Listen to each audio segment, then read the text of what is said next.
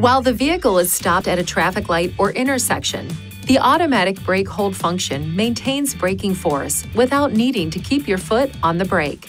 With the driver's seatbelt fastened and the ignition switch in the on position, push the automatic brake hold switch to turn the automatic brake hold on or off. This indicator will illuminate white when the system is enabled and in standby mode. Depress the brake pedal, and braking force will be automatically maintained when you remove your foot. The indicator light turns green to signify that the system is actively holding the brakes. Once you press the accelerator again, the automatic brake hold function is deactivated and braking force is released. Please see your owner's manual for important safety information, system limitations, and additional operating and feature information.